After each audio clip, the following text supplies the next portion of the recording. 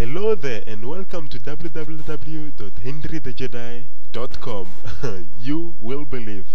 Welcome guys to this uh, special tutorial that I've made that I should have uploaded I think at least a week earlier.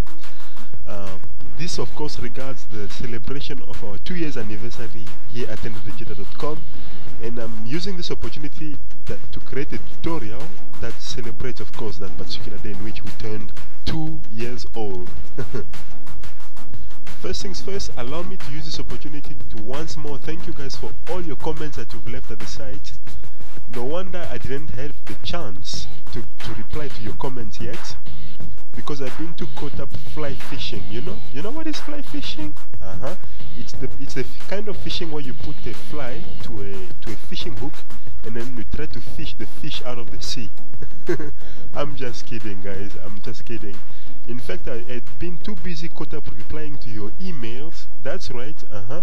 You guys sent me too many good messages that I just wanted to take my time to respond to each one of you with all the best, uh, the best comments that I could reply back. And I might say once more, thank you so much for all your comments, you know. Thank you so much for wishing us happy birthday. After all, this is your website and what you do to it, you know, is really good, okay? So thank you so much for all your comments. By the way, I made a little video in which I thank you personally. You can access that video by going to the products page of the digitally transformed DVD. Uh -huh. You're going to see there's a video there under digitally transformed features. You're going to see me there thanking you personally in a video format. Okay. So I thought to myself, well, as my little sisters will tell me, it's not every day that you turn two years older. That's why um, I've created this little animation here in which you're going to, to thank God, to thank you for having, to having helped us along all this incredible journey of creativity. Okay? In other words, here is a little video tutorial I prepared for you guys.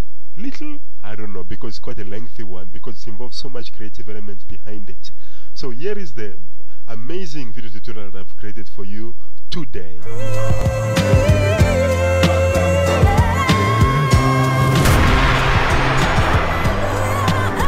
And guess what guys, I found this technique so interesting that I decided, well, let me make a one which will involve an animation in which we turn instead 8 years old.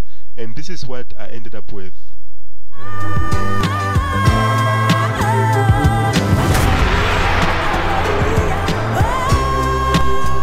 Truly creative techniques as you can see ladies and gentlemen. Uh -huh. This involves quite a lot of creativity and of course, I'm going to show you exactly how to create this entire animation using the power of Autodesk 3D Max and After Effects. If you do not have 3D Max, well, don't worry because as part of the project files, I'm providing you guys also with the files that you need, such as these strokes here. Mm -hmm. Of course, I'm going to show you how to design the strokes in 3D Max, and I've also provided the strokes as part of the project files so that we can easily load into your project to get, to get started with it. Really, I'm so happy with this tutorial guys because this really brings me back to the days when we are used to here at HenryTheJedi.com in, in true Henry Jedi tradition, we create beautiful animations using very, very simple techniques behind the scenes. Of course, you're going to see for yourselves. By the way, talking of beautiful, I went on the internet the other day and I saw this.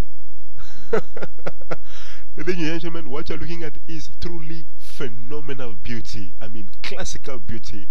What you're looking at is what, what, what is called the Saab 92001. it's the first car ever to be tested in a wind tunnel, uh, being, designed by the, by the Saab company. And my God, we'll just look at it. Eh? Just look at the, the wheelbase there, you know. I like these sides here which look like um, cheeks, you know, cheeks on a person's face. wow! I mean, look at the past and look at the future. And of course, we can say for ourselves the past looks so much better. Look at that, eh?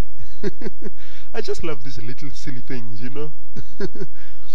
and this car, when it came out in the 1940s, it only featured, guess what?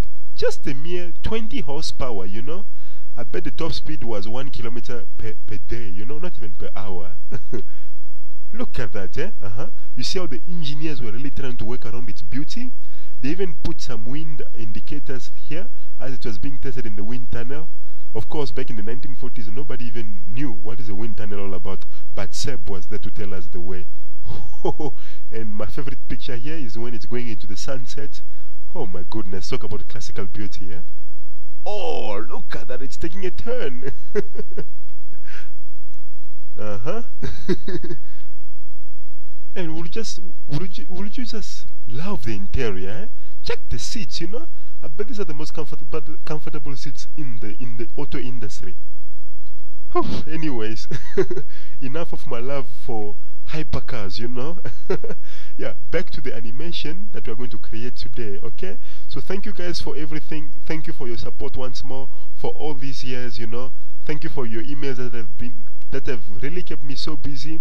After all, we are we, we have now more than six and a half thousand members at the forum and I really appreciate that guys and really it really takes a, a, lot of time off me just to answer your emails and so forth.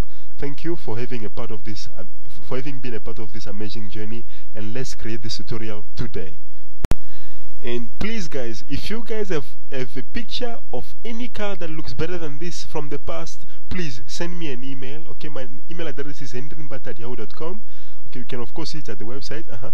please send me a picture of a car that you think is better looking than this you know? I doubt that you'll find any. But, and for me this is what I really call an antique you know? Antique. Yeah let's get started with our tutorial today now open up your 3D Max and then we're going to go to File, Reset. Mm -hmm. And then we're going to go to the Create panel, Shapes, and then select the text. And then turn on Auto Grid so that it can be in the middle of the text. Okay? And then of course we need to enter our text. Now this can be any number of your choice of course and I, th I think since you've turned 2 years old I'm going to enter the, the 2 mm -hmm click into, into the viewport so that we can create the text of course. And then we, we are going to go to the modify panel so that we can change the font. And I think the font that's going to work better for it is what I call the Calibri. Not Calibri but uh, instead let's see. Candara Italic. Yeah. Just a font that looks a bit out of the ordinary. Should work. Okay not indeed every day that you turn two years older, as a little boy or little girl will tell you that. and then we are going to add, we are going to give some depth to it, of course. So we are going to add in the modify panel, we're going to add a bevel modifier. Mm -hmm. Let's scroll down and then let's begin by giving it some height. By the way, let's come here right click on the perspective viewport label and then, and then select edge faces so that of course we can see for ourselves what we are doing mm -hmm.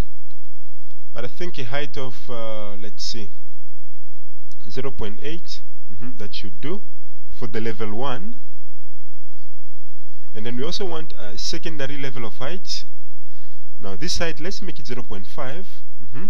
should just be a little bit of height indeed and then it also needs some outline. So for the outline let's enter the minus 0.6 like that. So that at the top of the text of course you can see it gives us a nice shape to work with. Okay? So that's what the outlining does. Okay? And I think it will look even better when you also give it again a third level of height of again 0.5 like that.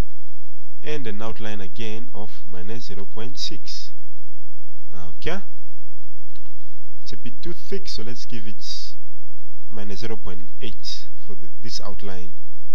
Mm -hmm. because you can see what the text object looks like according to that view. And I think we need to reduce its height down a bit. Maybe to 0.3 like that. Okay and now if we look below the text, we'll realize that it's a bit too flat. So we're going to add a mirror modifier, mm -hmm, like that. Oh, sorry, not morpher, mirror modifier. Mirror, mirror, mirror, mirror on the wall. Where are you? There it is. Uh-huh. Now we're going to mirror it on the Z axis and make sure it's a copy, like that, by checking the copy option. Uh -huh, so that of course at this point you realize how what a duplicate of it it has created. Uh -huh, you can see of course the difference there of what the mirror effect looks like. Mm -hmm. and then now of course we're going to work on the material. But first we need to change the rendering engine and the rendering output. So we go to rendering render. Mm -hmm. first we're going to change it the output size to HDTV because hmm, well that's the format that people use these days make it 1280 by 720 mm -hmm.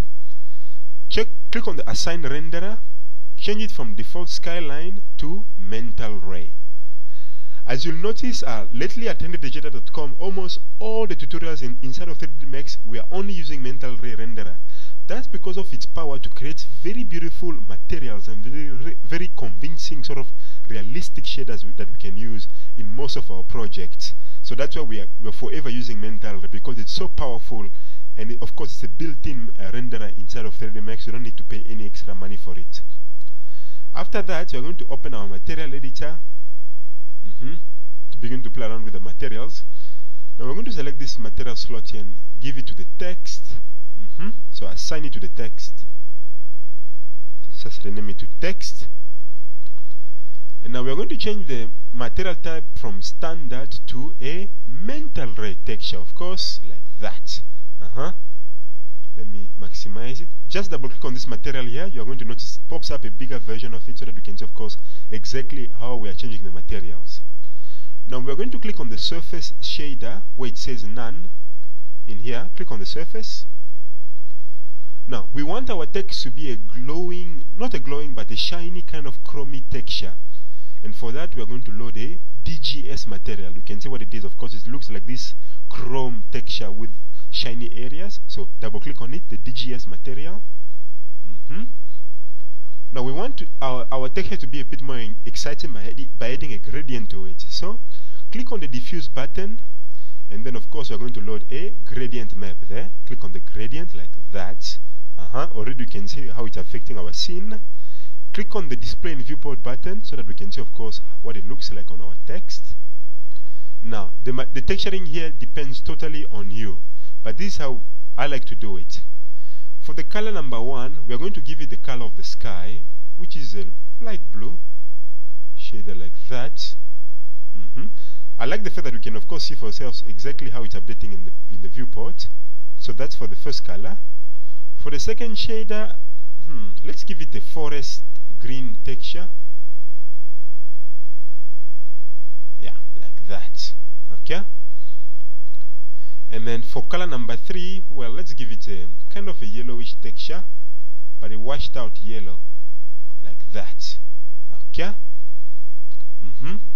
Let's go up to the parent and uh, press F9 to preview or just simply hit, hit the preview render button uh-huh, you can see of course what how beautiful the text is looking already at this point okay?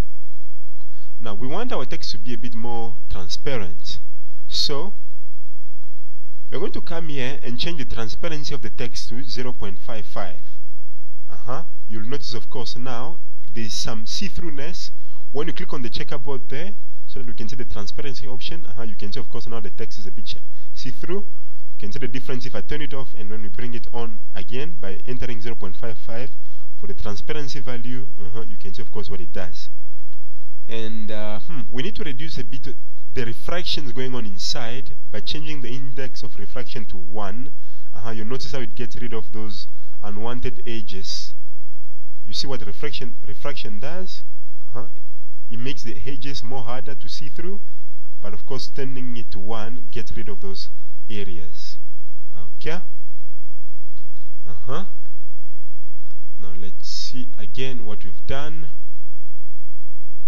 F9 uh-huh. You can see of course uh, the beautiful text that we're having at this point that we're going to use inside of uh, After Effects to compose it and to create our animation as the end result. Okay and now at this point here's what we're going to do we're going to right click on the text and then collapse everything so that it just becomes one mesh now.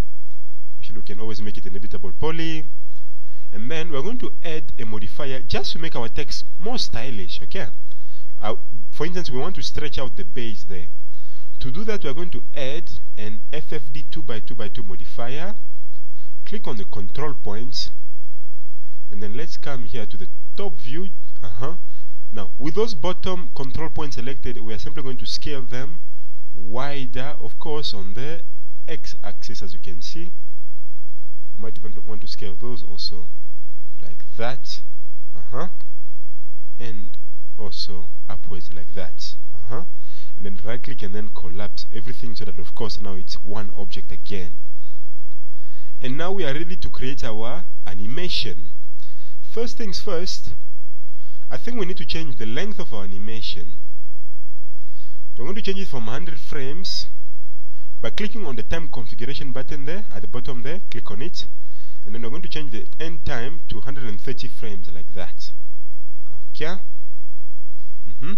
so that of course it gives us more frames to work with. And then here's what we're going to do. We are going to turn on auto key for now so that we can begin of course the animation process and then select the rotation tool.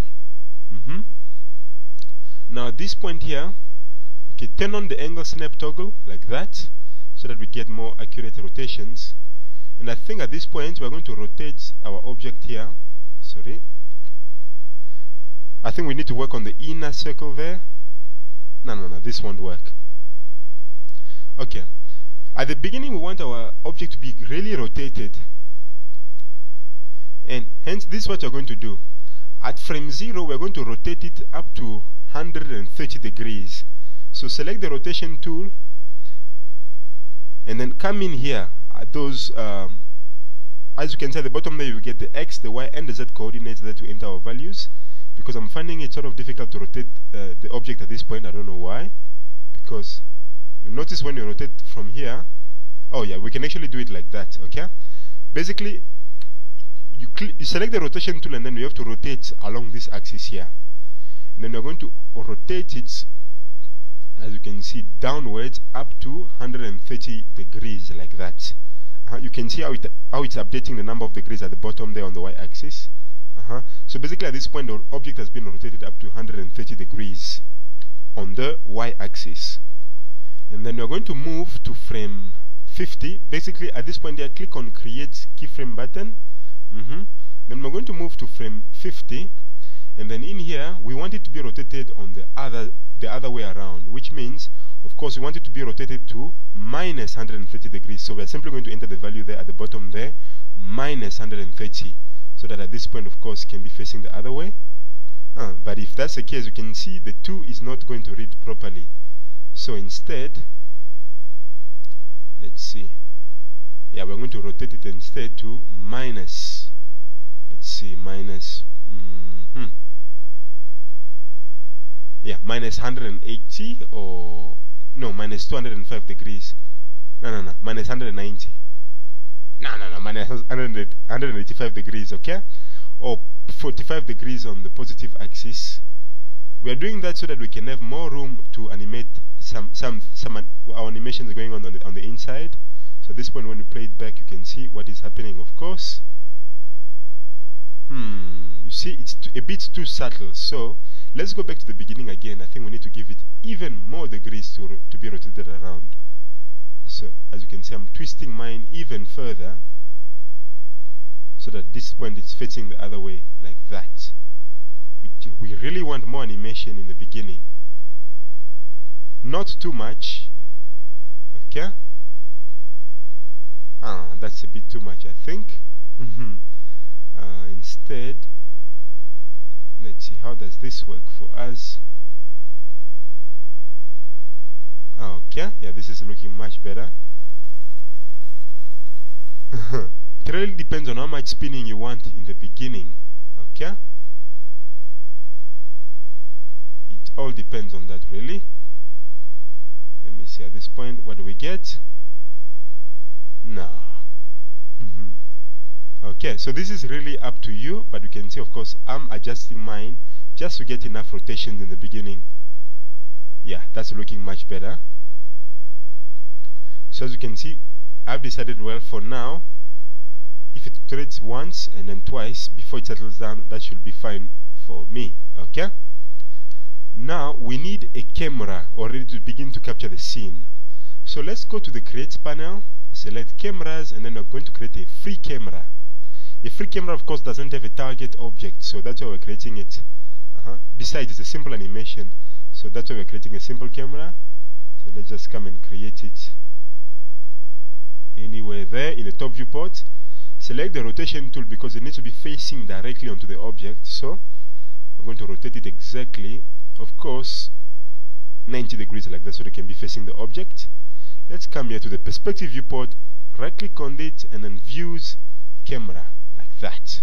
Mm -hmm. Of course, make sure you're working from the beginning. Let's go to frame 50 uh -huh, and begin to rotate the camera. Turn off the angle snap toggle at this point. Mm -hmm. At this point, we want to begin to rotate the camera, of course, so that it can be facing the object properly. And then we also want to see what we are, we are capturing. So, right click and then select show safe frame so that we can see, of course, what will appear in our animation. Mm -hmm. So you can see, of course, we are adjusting the camera so that it faces the, and, the, animations the animation properly. Remember, inside here, that is where the main animation will be taking place. So that's where we're giving it more room to work with. So as you can see, we're simply positioning the camera at this point.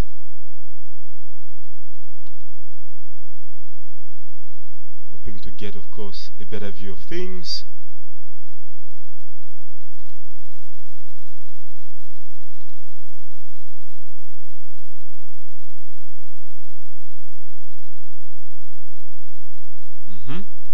Yeah, I'm just calculating it to see where, where whether we have enough space for animation that will come through. Okay, and then let's go to the beginning. Uh -huh. You'll notice 3D Max has given us a, a keyframe there in the beginning. Mm -hmm. I think what we need to do in the beginning is move the camera to the side so that at the beginning we don't see the text. So simply move the camera like that, as you can see on the x-axis, so that of course the, the scene begins with no text at all, and then as we play animation, it comes through. Ah, maybe we've done it incorrectly. Let's see. I'm going to select the keyframe there, delete it. Mm -hmm.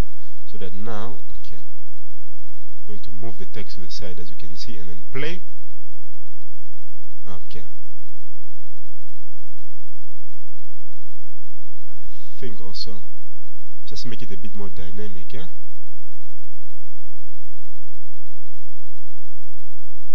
Mm -hmm. This really depends on you, on which kind of animation you want. I'm simply going to undo what I did now.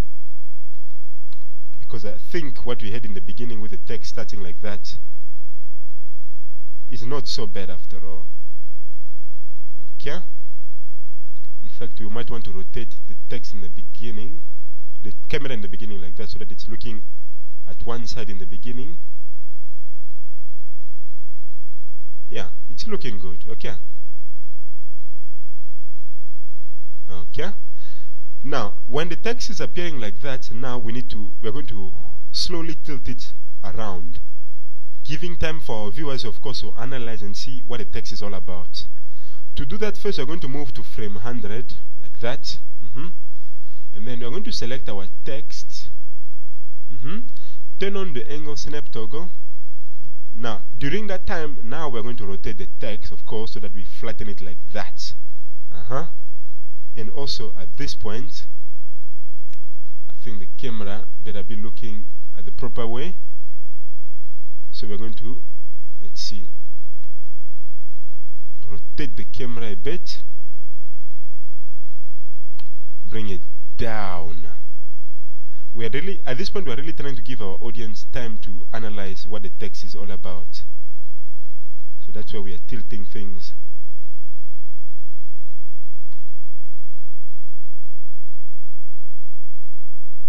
Mm -hmm. Of course, as you can see, it can become quite cumbersome when rotating the camera at this point. But, of course, it's not impossible.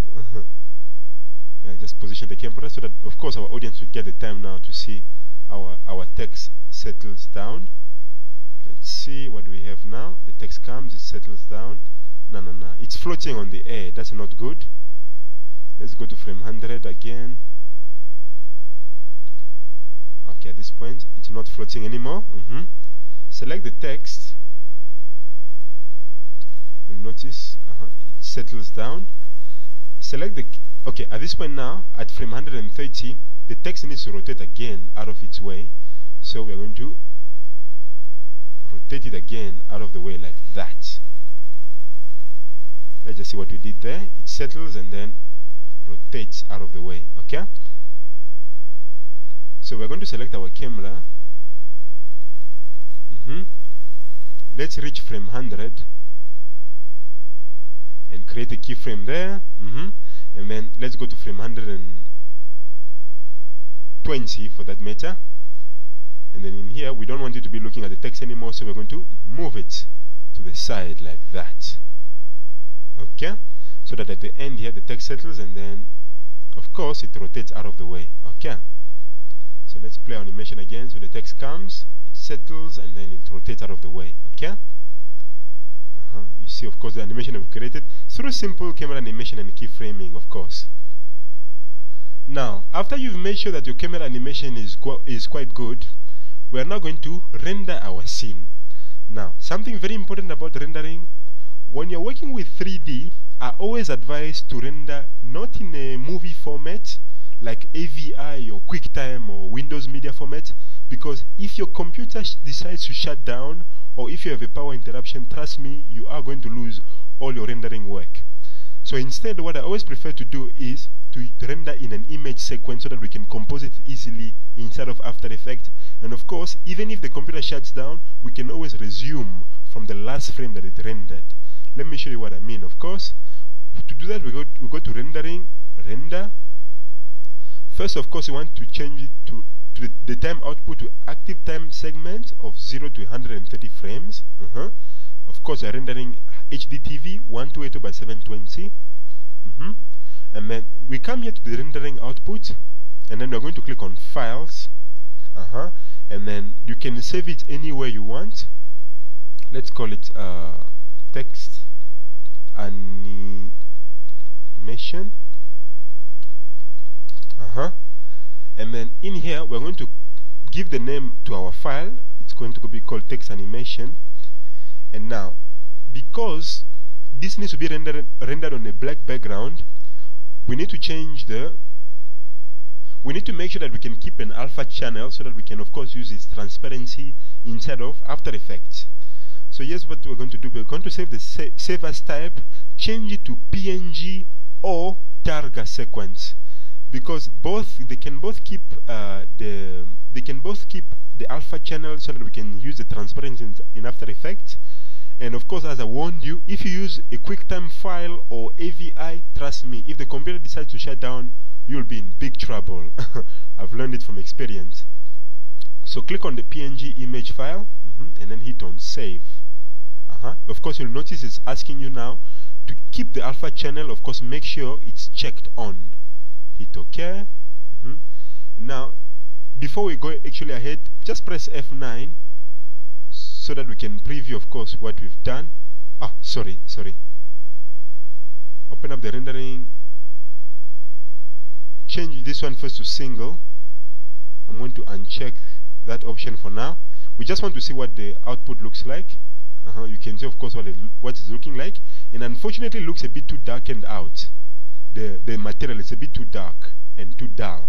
So we're going to go to rendering in, uh, environment and then we're going to change the global lighting level to 2 so that of course our materials will look a bit brighter. And then the ambient color instead of it being completely dark change it to a, a, gray, a dark gray color. And then press F9 uh, you'll notice of course now the textures of course are a bit brighter. Okay now at this point we can then go ahead open up the rendering change the time output back to active time segments and of course check the save file option and then hit render yes uh-huh and then of course it's going to begin to create the rendering sequence for us be patient with it it might take longer than you might think, but just be patient with it, okay? Because it's rendering with mental ray. And of course, in the beginning, nothing is appearing because our text is still appearing somewhere there. And of course, uh -huh, now the text begins to appear into the view, okay? So I'm going to pause the tutorial and then see you when the rendering is complete. In fact, guess what? You don't actually need to wait all along because 3D Max has the ability to launch another copy of itself while you can wait for the rendering to complete. So here's what we do instead. Because we need to create our strokes and we don't want to waste any time, you know. So we go to Start, Programs, and then, yeah, launch your 3D Max so that, of course, while this one is rendering, uh -huh, we can still be working on the strokes, of course, to save ourselves time so that when, when this one is done rendering, we can simply continue the work, okay? I really like that, that power of being able to do one thing while something else is taking place, you know? Truly multitasking. uh -huh. Now, as, as you're about to find out, creating the stroke in 3D Max is in fact deceptively simple. Now you may be wondering, Henry, why aren't we creating the, the stroke right from inside of After Effects? Well, we are going to do it in 3D Max because uh, of the way in, way in which uh, 3D Max enables us to create the object with a particular material that we can apply to it and also this stroke will have some kind of a depth to it, okay? And oh my goodness, I also love just doing these kinds of abstract works because it's not every once in a while that I always do that. Again, the, remember the trick is to first go to File, Reset. Uh-huh. Now, the stroke we're going to create in the front viewport. So let's go to it. Click on the shapes and then we're going to create a line. And again, click on AutoGrid. Mm -hmm. And then in here, we're going to be a bit crazy. So, here's how crazy we're going to be. Create a stroke as you can see. Start by clicking the points there by the way, we're creating these folds because the folds are responsible for nicely uh, uh, displaying our material. That's why I'm creating those folds as you can see. So just follow along, please. Mm -hmm. Around here we want it to bend a bit because there will be a gradient there. Uh -huh. Before it goes in again. Okay. When you're done, you just simply right click. Uh huh so that we can be done with the design. Of course, you can see what weird design I've ended up with at this point.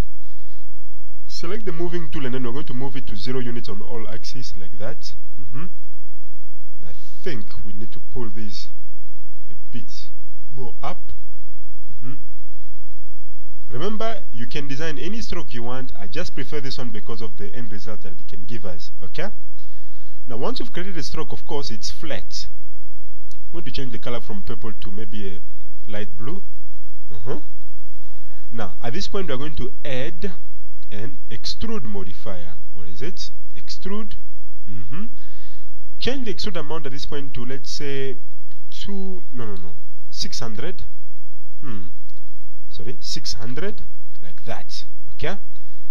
I'm going to press, we're going to right click on the left viewport label and then select smooth plus highlight. Uh -huh.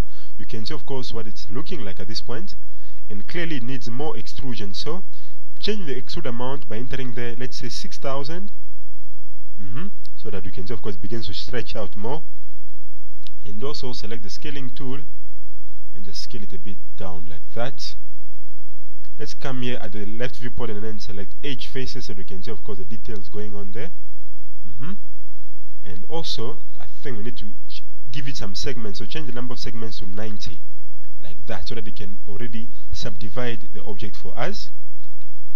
And now go to rendering because already we already we need to decide on what the output should be like. So we go to rendering render and then the most important thing is to change the output size to HDTV mm -hmm, like that and then we come to the left viewport here and then select uh, show safe frame we are using the left viewport because this is the viewport from which we'll be rendering, of course. Mm -hmm. Then select the scaling tool still and just scale it down a bit as you can see to make it a bit thinner, of course. And then we need to create some distortions with our object. Actually, let's first scale it down a bit more. Mm -hmm. Open up the material editor and just give it this material here, make it two-sided. And now, this needs to be a gradient material. So, we're going to click on the diffuse map and of course load a gradient map there like that. Okay? I'm going to come here right click on the viewport and then uncheck edge faces uh, you can see what's going on. And then of course make sure you can see the gradient in the viewport by clicking on the checker box there uh, you can see how it updates. Already of course you can notice the gradient starts a bit brighter until of course towards the end it ends up being darker I think the grid is a bit distracting so right click on the left viewport and then uncheck show grid. Uh -huh, you can see of course what I mean by that. That's the power of the gradient inside of 3D Max. And then the gradient hmm, unfortunately we want it to, to be a bit more uniform. So we are going to change the rotation angle of the gradient on the W axis. Change the rotation to minus 90 degrees like that. Uh -huh. of course you can see now the bottom is a bit brighter and the top is a bit darker. Okay if you press F9 to preview this or click on the render preview there uh -huh, you can see of course what I mean. The bottom of the gradient is a bit brighter and the top is a bit darker. That was uh, achieved by changing the W angle axis to minus 90 degrees. In other words rotated the material to minus 90 degrees. And also another thing the scene is a bit too dark. We need to lighten it up by going to rendering environment and then we're going to change the ambient color from a dark color to a bit of a light gray color as you can see. Mm -hmm. then just press F9 again to preview. Uh -huh, of course you can see now the scene is a bit brighter